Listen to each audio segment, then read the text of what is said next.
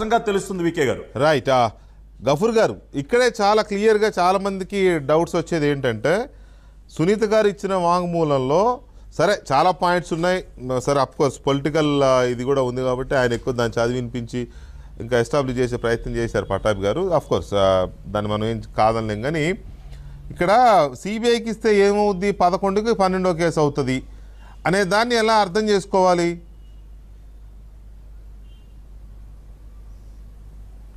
ఇప్పుడు ఒక్కటి వెంకటకృష్ణ గారు. నేను అంటే వ్యక్తులు వ్యక్తుల యొక్క రాజకీయ ఉద్దేశాలు దాంట్లోకి నేను పోను. ఒక హీనస్ మర్డర్ జరిగింది.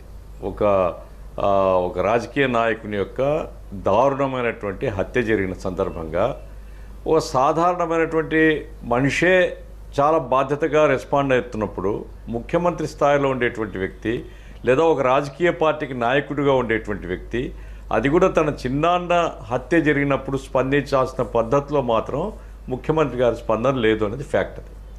అంతేకాకుండా ఇప్పుడు అందరికి కనపడుతుందండి ఈరోజు సిబిఐ చాలా ప్రయత్నాలు చేస్తుంది. నిజంగా హ్యాండ్స్ అప్ టు సునీతమ్మ.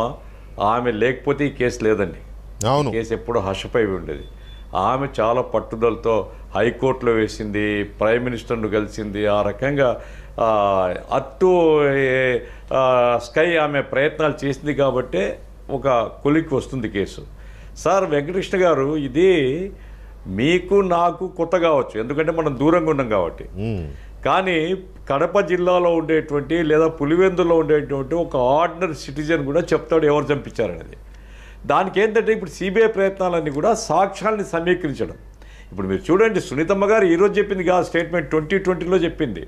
అట్లాగే సుధీకర్ రెడ్డి బ్రదర్ ఆఫ్ వివేకానంద రెడ్డి ఆయన చెప్పే స్టేట్మెంట్ కూడా ట్వంటీ వన్లో చెప్పాడు. ఇవన్నీ సాక్ష్యాలు పెట్టుకొని అంటే ఈ స్టేట్మెంట్స్ అని తీసుకొని ఒక కొలిక్కి తీసుకుని రావడానికి సిబిఐ ప్రయత్నం చేసింది. ఒక బాధ్యతాయుతమైనటువంటి ముఖ్యమంత్రిగా సిబిఐకి సహకరించడం జగన్మోహన్ రెడ్డి గారి బాధ్యత. అట్లాగే ఈ ఇప్పుడు సజ్జల రామకృష్ణాడి గారు ఇంకోరు ఇంకోరు రోజు ఆ రకంగా సిబిఐ మీద దుమ్మెత్తి పోసేటువంటి పద్ధతితో మాట్లాడడం మాత్రం వాళ్ళ విలువను దిగజారుస్తుంది. అంటే ఉద్దేశపూర్వకంగా కేసును డైవర్ట్ చేసేటువంటి ప్రయత్నాలు జరుగుతున్నాయి. ఏదో ఒక లక్ష రూపాయలు రెండు లక్షల రూపాయలు అటు ఇటు అయ్యేటువంటి కేసు అయిందనుకోండి సరే డబ్బులు పోతే పోలే అనవచ్చు. అరే ఒక మర్డర్ జరిగితే ఓ three naught two case that ఒక ex minister ex MP ex MLA అట్లాంటి ఒక గౌరవనీయులటువంటి వ్యక్తి మర్డర్ జరిగితే దాంట్లో ఇన్ని కోణాలు సిబిఐకి ఫ్రీగా వదిలేలా? ముఖ్యమంత్రి గారు మాట్లాడకూడదు.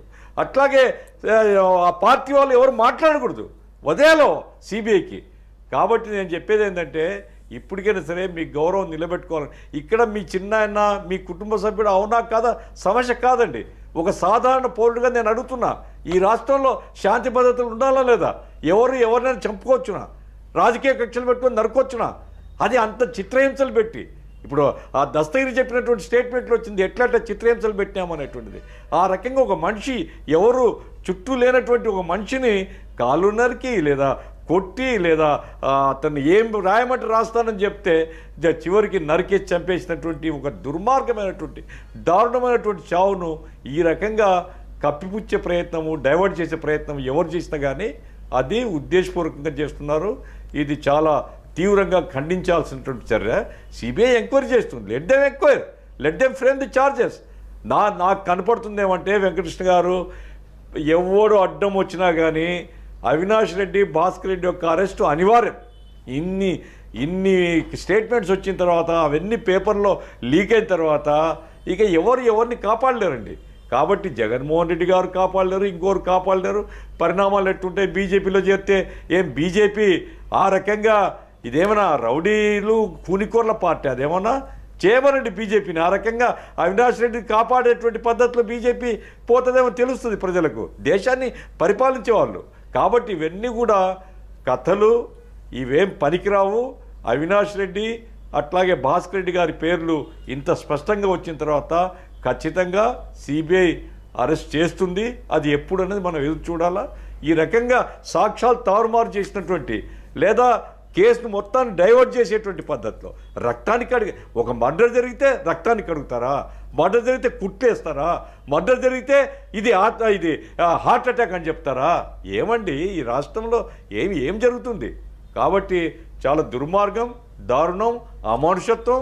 కాబట్టి కఠినంగా శిక్షించాల్సిందే ఎవరున్నా కానీ సిబిఐ ఫ్రీగా ఎంక్వైరీ చేసి వాళ్ళని అరెస్ట్ చేయాలని మేము డిమాండ్ చేస్తున్నాం. ఇక్కడ పాయింట్ ఏంటంటే ఒకటి సునీత గారు చెప్పినట్టుగా ఆమె ఇచ్చిన వాంగ్మూలంలో ఏముంది కేసు సిబిఐకి ఇస్తే అవినాష్ బీజేపీకి వెళ్తాడు అనే మాట అన్నారు జగన్మోహన్ రెడ్డి గారని ఆవిడ చెప్తున్నారు. ఒకవేళ అదే నిజమైతే అవినాష్ రెడ్డి మీద పార్టీపరమైన చర్య ఎందుకు తీసుకోలేదు? ఎవరైనా పార్టీ అధినేతని అట్లా బెదిరిస్తే నా మీద గనక ఇలా జరిగితే నేను పార్టీని వదిలేస్తా అని ఎవరు ఎవరైనా అంటే ఊరుకుంటారా? పైగా జగన్మోహన్ రెడ్డి గారు లాంటి లీడరు తనని ధిక్కరించిన వాళ్ళని కానీ లేకపోతే చెప్పిన వాళ్ళని కానీ వదిలేస్తారా? అయినా సరే వదిలేసి ఆయన అలా ఉన్నాడు. పైగా బీజేపీకి వెళ్తాడని ఈయన భయపడడం. ఆయన బీజేపీకి వెళ్ళిపోతాడని ఈయన దాని దాన్ని దానికి కన్విన్స్ అవ్వడమో లేకపోతే కంట్రోల్ చేయడం అనేది ఒక పాయింట్ కనపడతా ఉంది.